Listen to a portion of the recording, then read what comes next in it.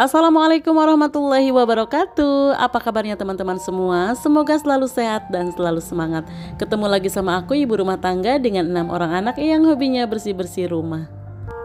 Di video kali ini aku akan sedikit menjawab lagi tentang pertanyaan Mengapa rumah aku itu selalu bersih dan rapi walaupun aku punya enam orang anak? Dan aku juga akan sedikit ngasih tips ya teman-teman Bagaimana caranya menjaga rumah agar selalu rapi dan bersih Hal pertama yang aku lakukan setelah mandi pagi-pagi adalah langsung membersihkan kamar mandi. Nah, ini masih ada busa-busanya sisa dari sabun. Setelah itu langsung aja disikat. Kalau misalkan dirutinkan setiap hari, kita nggak bakalan repot-repot membersihkan kamar mandi. Nah, hal selanjutnya setelah pekerjaan di dapur selesai yaitu membuat sarapan di pagi hari, biasanya aku itu langsung membereskan rumah. Nah, ini dilakukan setelah anak-anak berangkat sekolah. Kalau misalkan mereka udah pada sekolah. Intinya kita itu harus benar-benar pintar membagi waktu selama 24 jam ini kita bagi-bagi kapan waktunya untuk ngurus anak, kapan waktunya untuk membuat makanan, kapan juga untuk beberes. Dan satu lagi yang harus kita lakukan ya teman-teman yaitu menjaga perasaan diri kita sendiri. Jangan sampai kita itu sedih ataupun tidak bahagia. Karena kalau hati kita udah bahagia, pekerjaan sesusah apa pun, senumpuk apa pun pasti akan selesai. Nah, selanjutnya yang aku lakukan supaya rumah aku itu selalu bersih dan rapi, aku itu selalu membagi waktu antara pekerjaan atau bersih-bersih rutin sama bersih-bersih mingguan dan juga bulanan. Kalau yang aku lakukan setiap hari ya kayak nyapu, ngepel kayak gini sih setiap hari.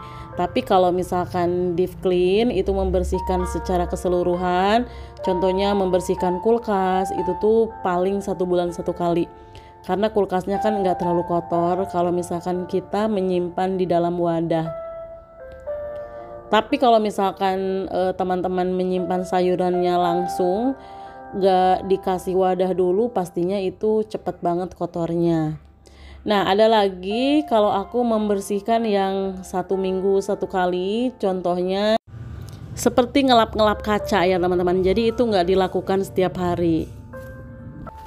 Nah, setelah kita mengatur waktunya dan membagi-bagi waktunya, yang kita lakukan selanjutnya adalah bangun lebih pagi tentunya. Yang namanya udah berkeluarga, menurut aku sih walaupun punya anak satu, anak anak dua, anak tiga, sampai anak enam itu sama aja ya teman-teman. Kita itu harus pinter membagi waktu dan kita harus bangun lebih awal Nah, kebiasaan bangun lebih pagi ini dapat membuat apa yang kita kerjakan itu lebih maksimal. Karena waktunya kan lama, misalkan bangun dari jam 4. Nah, dari jam 4 itu kita bisa beribadah, bisa juga mengatur waktu pada saat pagi-pagi itu. Dan seperti yang aku katakan di videoku yang lalu, ketika pagi hari itu jangan sampai kita buka HP terlebih dahulu supaya kita lebih produktif dan lebih semangat. Ya, yang namanya kalau kita udah megang HP ya teman-teman, bukannya kita makin semangat, malah kita itu bakalan mager. Karena itu tadi banyak informasi-informasi yang kita terima di HP itu sendiri sehingga membuat otak kita itu penuh dan e, lebih cepat penatnya. Hanya memikirkan orang lain sih menurut aku. Lebih baik pagi-pagi itu kita gunakan yang pertama tentu saja untuk beribadah. Pagi-pagi biasanya e, waktunya itu lebih senggang kemudian konsentrasi kita juga karena otaknya masih segar baru bangun tidur. Nah itu tuh bakalan lebih berkonsentrasi. Nah yang selanjutnya coba buat jadwal setelah kita menyelesaikan ibadah sholat subuh itu langsung ke dapur. Nah di dapur itu yang biasa aku lakukan sih teman-teman Aku itu selalu ngebuka dulu mesin cuci Masuk-masukin baju kotor ke dalamnya. Karena proses mencuci di, di mesin cuci itu nggak harus ditungguin kan. Nah setelah itu baru kita beranjak ke masak. Jadi sekalian masak sekalian juga e, mencuci baju. Nah, nanti di dapur selesai, baju pun sudah bisa kita jemur. Nah, intinya ketika kita sudah mengatur waktu, kemudian bangun lebih awal, itu jam 4 waktu yang lumayan tepat ya teman-teman. Dari jam 4 itu tidak terlalu ke pagian ataupun kemalaman.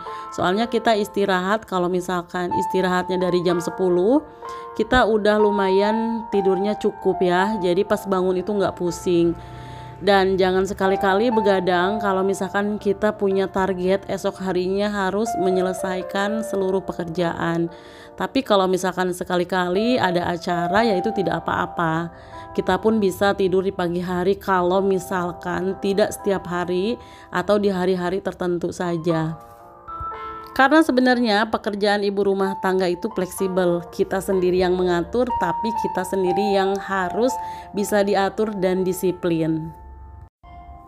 Nah, seperti yang sudah aku ceritakan di video-video sebelumnya, kalau aku sendiri misalkan untuk mengerjakan pekerjaan rumah itu supaya makin semangat, biasanya aku awali dari hal yang paling mudah dulu. Biasanya aku awali dari bagian depan rumah, kemudian maju ke mundur ke belakang. Nah, ini untuk membersihkan kamar pun itu di nomor sekian ya teman-teman. Karena bagi aku kalau misalkan ada orang yang mau ke rumah kita itu nggak langsung ke kamar. Tapi ada sebagian orang juga yang langsung membereskan kamar. Nah kalau aku lebih suka membereskan di bagian luar dulu karena kan anak-anak aku kalau misalkan pagi-pagi mereka masih pada tidur juga anak-anak yang paling kecil itu. Nah, hal yang selanjutnya supaya kita itu bisa mengerjakan seluruh pekerjaan rumah kita dan juga bisa mengurus anak tentunya. Kita itu jangan menunda-nunda pekerjaan ya, teman-teman. Kalau pekerjaan itu ditunda, maka pekerjaan itu bakalan numpuk.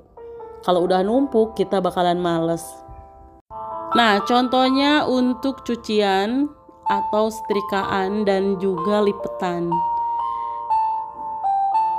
Nah kalau aku sendiri mencuci itu setiap hari.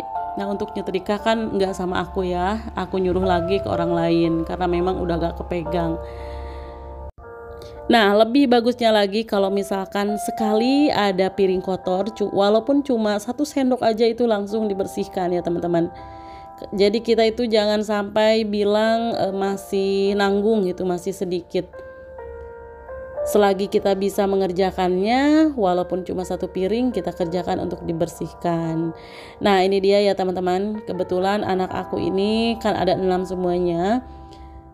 Sebenarnya yang ada di rumah itu cuma tiga, yang tiga lagi itu mondok. Nah, kemarin tuh mereka kan pada pulang ke rumah dan hari ini rencananya mereka mau balik lagi ke pondok.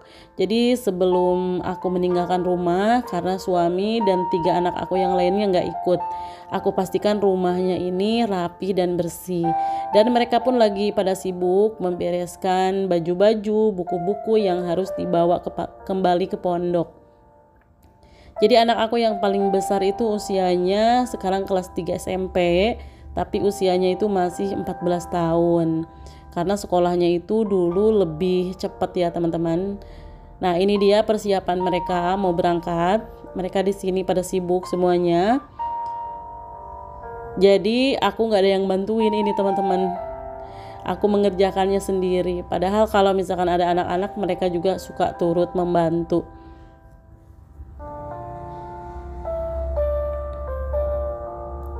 karena memang bukan tugas yang mudah mengurus anak, mengurus rumah. Walaupun kita ibu rumah tangga itu sering dikatakan tidak bekerja, padahal pekerjaannya tidak ada habis-habisnya. Ya mungkin karena tidak bekerja itu karena yang berpikiran kerja itu yang menghasilkan uang atau ada yang menggaji. Tapi kita kan ibu rumah tangga nggak ada yang ngegaji ya kecuali ibu rumah tangganya yang juga jadi konten kreator. Pasti ada yang ngegaji.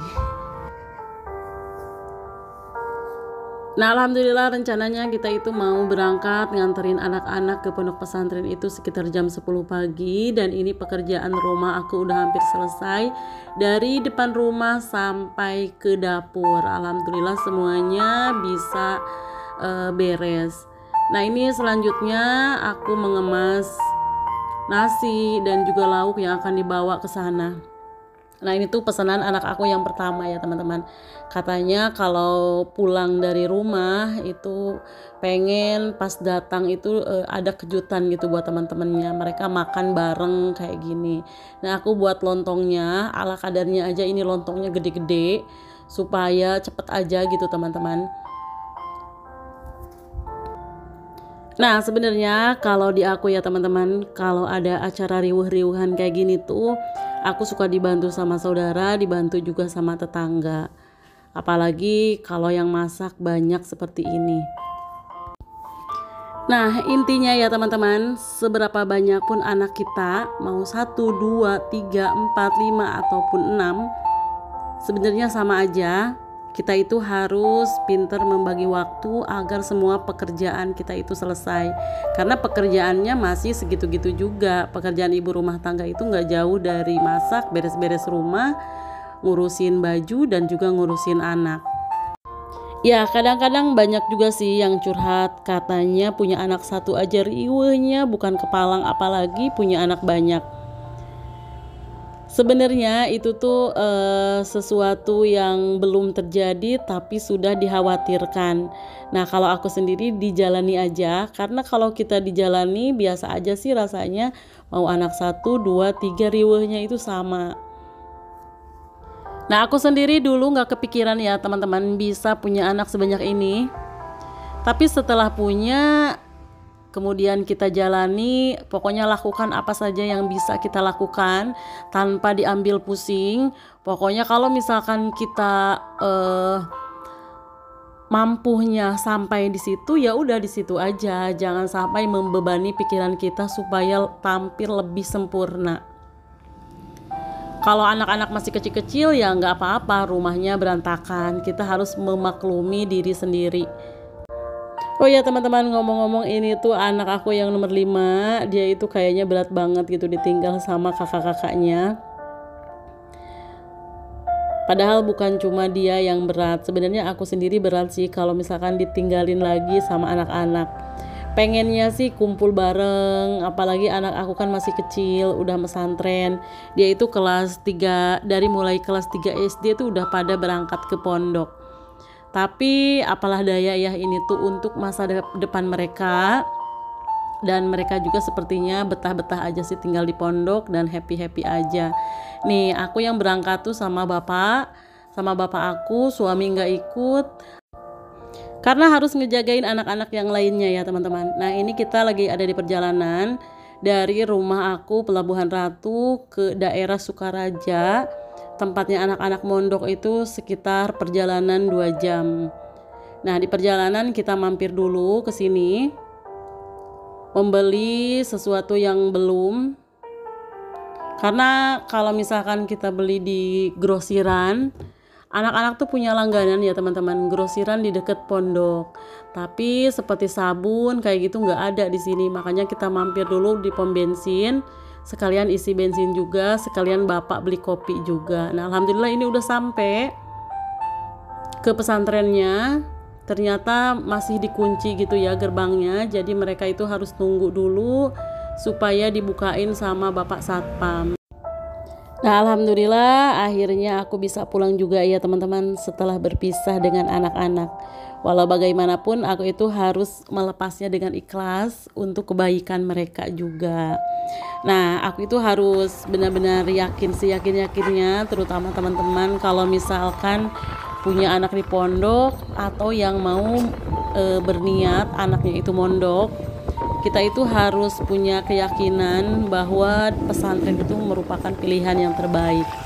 Alhamdulillah ini pulang ke rumahnya udah hampir maghrib. Jadi berangkat jam 10 ini pas maghrib ini masih di perjalanan. Nah, jangan lupa juga ya teman-teman kalau misalkan anak-anaknya pengen betah di pondok, kita itu harus ngasih motivasi dan dorongan juga pada mereka. Alhamdulillah ini udah sampai rumah dan disambut dengan tiga anakku yang lainnya. Nah, selain ditunggu sama anak-anak juga, ternyata anak-anak ngaji juga udah pada rame ya teman-teman di rumah. Jadi inilah kegiatan aku dari jam 4 pagi sampai maghrib Terima kasih teman-teman yang sudah ngikutin aku dari awal sampai akhir. Mudah-mudahan selalu ada manfaat yang bisa diambil. Sampai jumpa di video berikutnya. Wassalamualaikum warahmatullahi wabarakatuh.